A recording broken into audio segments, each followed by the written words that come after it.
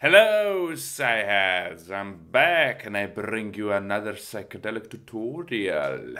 In this one, I will show you some insights on how to create those glitchy psychedelic basses and sound effects.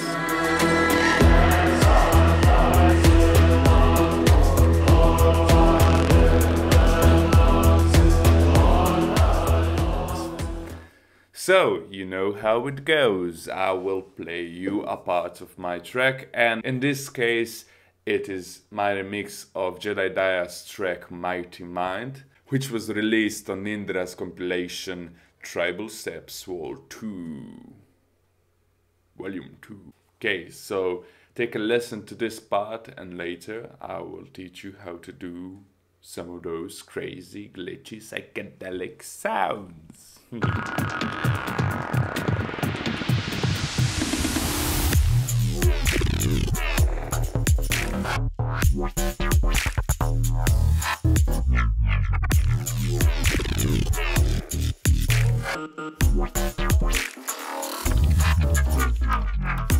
yeah, I will teach you some of these crazy, glitchy, psychedelic sounds. And you know, I don't really have time to teach you all of them. And it wouldn't be fair since some of those sounds I recreated by watching some other guy tutorials. And yes, that wouldn't be fair to, to share their tips and tricks. And instead, I will show you my tips and tricks. So yeah, mostly I will teach you how to create these three sounds in Serum and in Vital.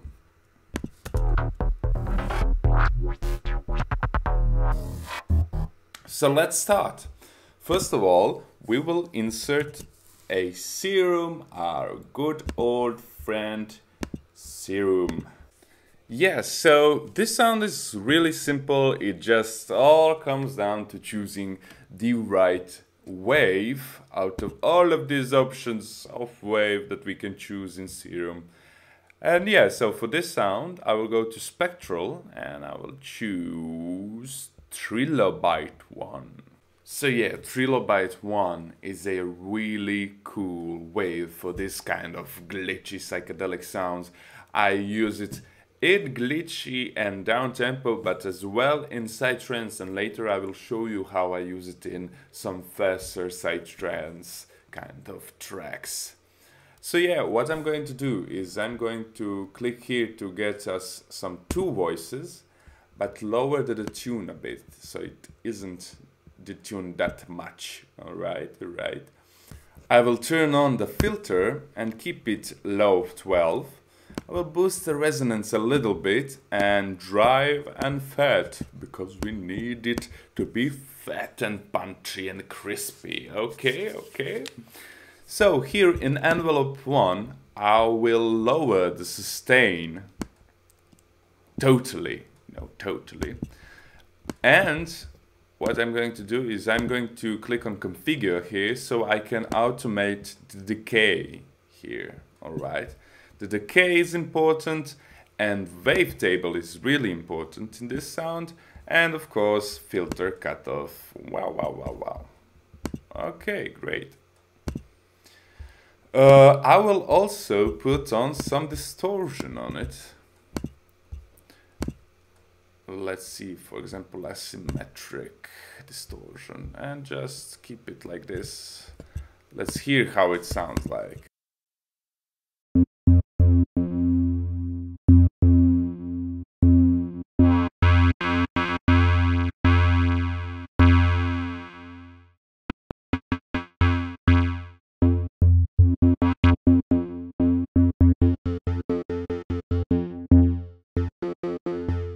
You can hear how the changing of the wavetable position changes its harmonic structure and that's what is really cool with this wave. Okay, so let's see. Um, I will just copy and paste this pattern I created before.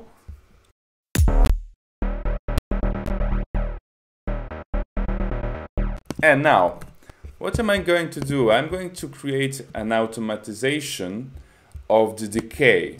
because sometimes we need a long, longer decay and sometimes we need it to be quite short. So for example, you see this first note, which is warm, it needs to be warm. So I will keep the long decay here on. But on the second note, and especially on these short notes, I will lower the decay a lot. Okay, that's too much, but still. Yeah, something like that. Uh-huh. And then I can I can gradually open up the decay as well. I can also configure the attack as well, because now I see the oh, why is it not uh, configure attack? Yeah, because now I see that it would be good that the attack is a little bit bigger at the beginning of this note. Yeah, that's a really cool thing in these glitchy words to set up as a longer attack so it goes wah, wah. Yeah, okay. And of course we will play with filter cutoff and everything else. So let's see how it goes. For example, here something like this.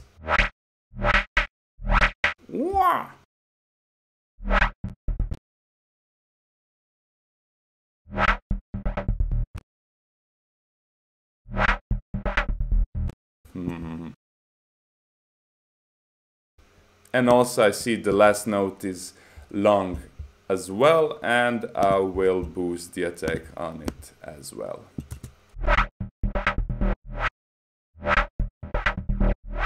Alright, so um, I will get back to Serum and I will turn on the sub oscillator and lower the level down a bit. Because you know, this will function as a bass, but since this has two voices and the wave is a bit unstable, you know, it's good to have something that, that is really stable and like a good old sub bass oscillator of a sine wave or something else here, but I think sine wave will do just fine. Uh-huh. Now we have the bass as well. And what I'm going to do is I will going to put some utility on it and click on the bass mono option, which is a really good option that came with Ableton 10. I really like that it is so simple to do that now. Okay, so let's play with the wavetable position now. So yeah, the thing with this wave is that the beginning of its wavetable position is a bit darker, but the top of it is much more harsher and uh, brighter. So we are gonna play with that. At first, I'm not going to open a wavetable position to the end and keep it somewhere where it's darker, but maybe here I can open it and do something like this. Wow, wow, wow. And now you will hear uh, how you open all those harmonic series in it.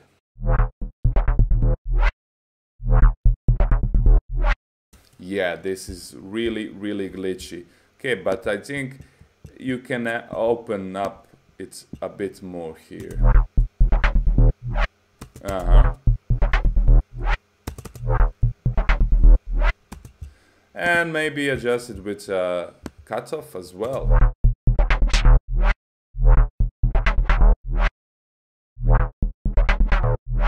Okay, so let's play with sound a bit more. I will add FabFilter Saturn, which I really like for this kind of distortion. Just a gentle type of distortion uh, that will boost some uh, frequencies which I need in the mix. So for example, I will boost, yeah, okay, I will boost drive a lot and I will boost this band 1 treble so that we can hear all those upper harmonics a bit better.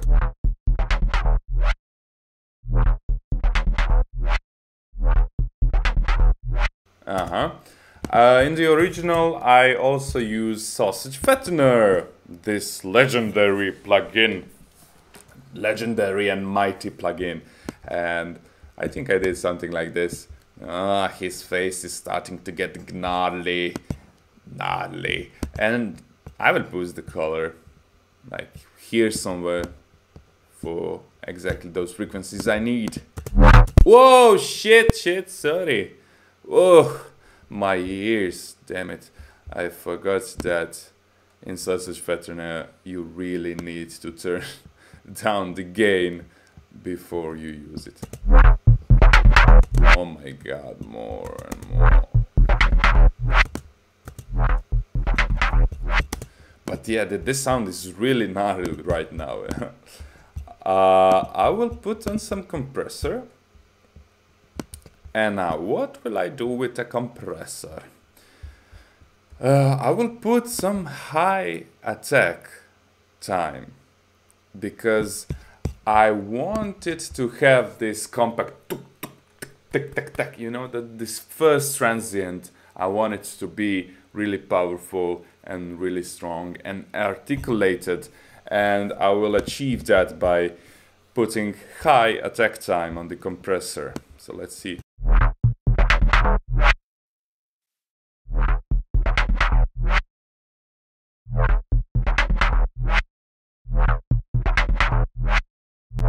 All right, all right, yeah. And I'll do a sidechain with a kick, of course. So we click on this little arrow here, click on sidechain and find kick. And here it is. Wait, I will put it into a loop so I can work properly.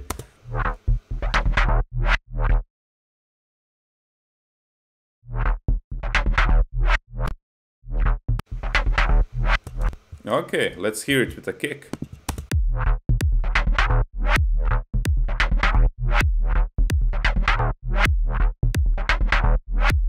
Yeah, that's really groovy and really glitchy.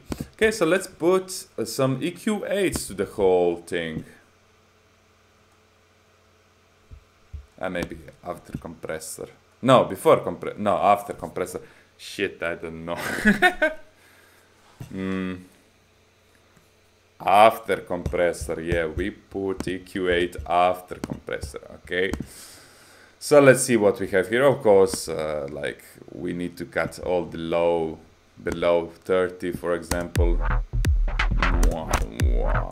this is powerful. Maybe I'll add some bass in this area. Yeah yeah. And maybe I'll lower those uh, yeah those really high frequencies which are like like some mouses or something. I don't know and I'll even add a reverb to it but I need to be sure that low cut is activated. So I don't uh, put a reverb on the bass frequencies of, of the sound. And for size I don't know I'll just play a little bit something like this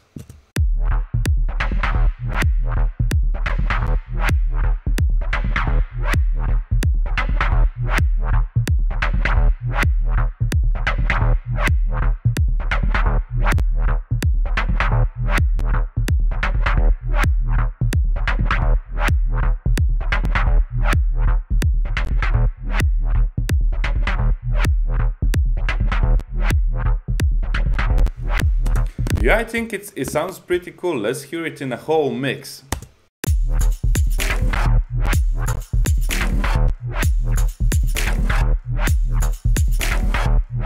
Okay, so yeah, that's pretty much it with this sound.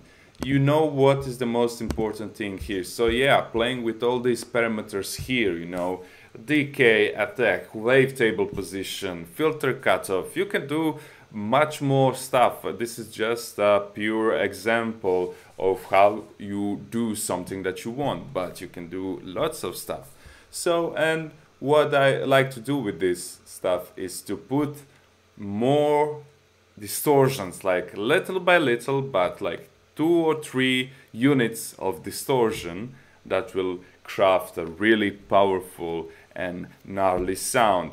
You saw that I used compressor with high attack time in order to get it really articulated. I used some EQ8 and some reverb just on this kind of middle, middle, middle, middle, middle range, which gi gives it some kind of space in which it dwells. This bass loves to dwell in space.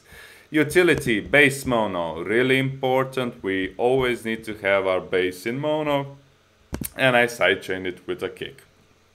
Pretty easy, right? I will do our next sound in Vital, Vital, Vital, Vital, Vital, I don't know, is it Russian or is it American? I don't fucking know. But yeah, it is a new plugin and everybody is talking about this new plugin. So I decided to give it a go and I really like it. Really, really, it's it's quite similar to Serum actually, but but it has some really cool stuff in it. Yeah. It's here, it's here, it looks, it looks like this, it's cute, it's sci-fi, it's everything. So, for wave, I will use, where is it, Hollow FM, something like that. Hollow Distorted FM. Mm. Let's see, you click here to see it's 3D. And I think I use it's something from here. Eh, this this doesn't go? Ah, okay. Uh huh.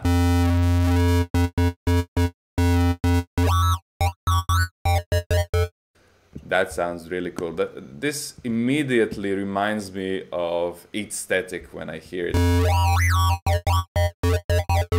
yeah, but I will put it here somewhere just to have some gentle frequency modulation on it.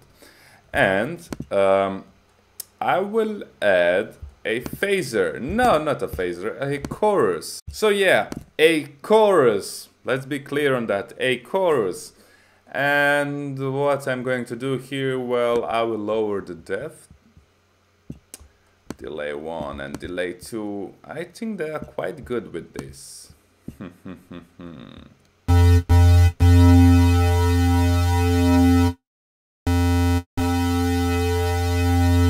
yeah, this chorus really gives you that alien vibe. It is enormous difference uh, without a chorus and with a chorus.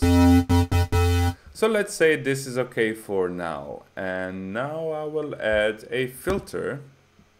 Analog 12B low pass, it's okay.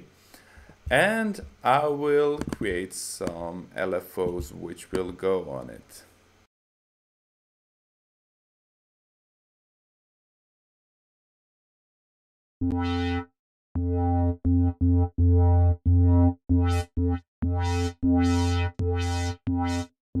So yeah, for this first LFO, it is good to have this trigger mode. So in, in a way, now when you click the note you want, it always starts from the beginning of the LFO, which we want for this first LFO. And I will do this kind of pattern. And for the second LFO, I will also put it here, but I will use a sync mode so that every time you will retrigger a note, the LFO doesn't stop and doesn't go from the beginning, but it continues to work. And let's create some crazy pattern, I don't know, something like this maybe.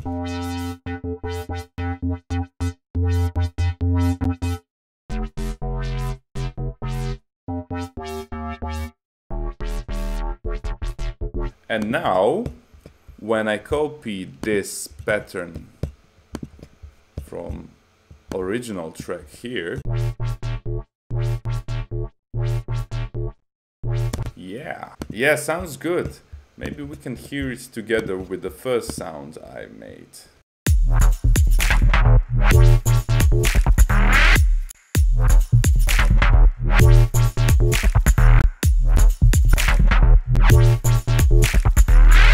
Yeah, sounds cool.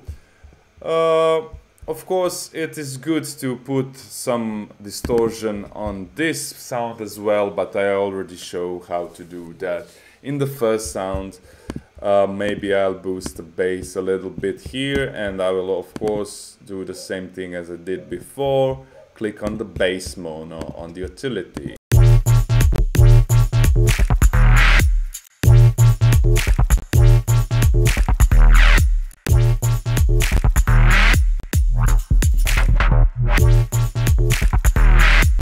And the thing I think you should do while uh, doing these glitchy glitch hop psybass basses is that you should always look how loud each and every single one of them is.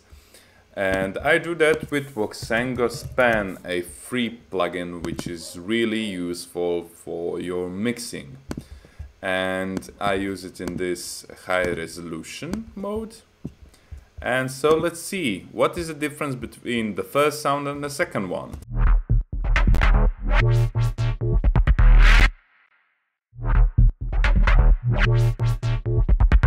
So yeah, you can see that the biggest difference is that this second sound has some upper harmonic somewhere here uh, really boosted and we need to lower it down in order to uh, to make it sound balanced with the other sound. Yeah, it's it's this one, okay. And maybe we can boost the first one.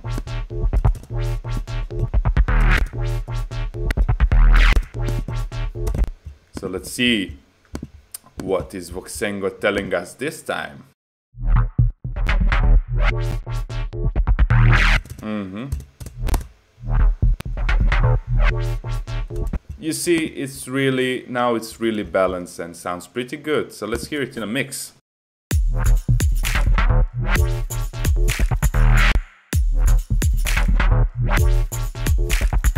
yeah, this is just an example of what you can do. I mean, you can hear in my remix of this uh, Jedediah's track that you can play with those sounds in lots and lots of ways, different and creative ways. So do it, do it. What are you waiting for? Do it, Psyheads. And now, as I promised, I will show you how I use that glitchy sound in some faster, psychedelic trance kind of tracks. So check out this part of the track right here.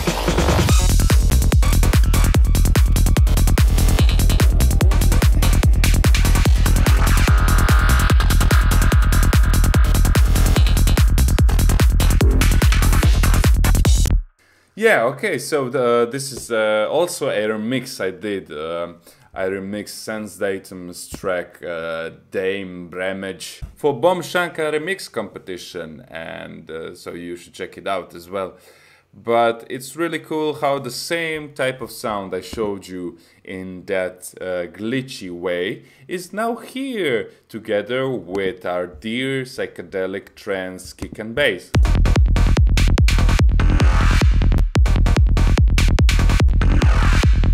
You know, but now it's a bit different because it's I didn't use it as a bass. So I cut all his low frequencies so it doesn't interfere with the kick and bass here.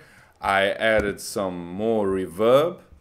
And you know, I also did a thing with compression here.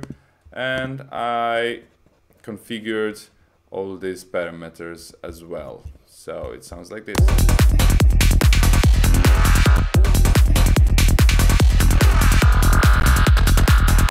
So you see, you can use the same sound in glitch hop and down tempo and in psychedelic trance as well.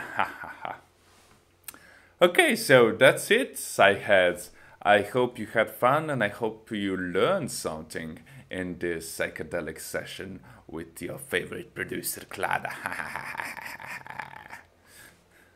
See you around. Bye.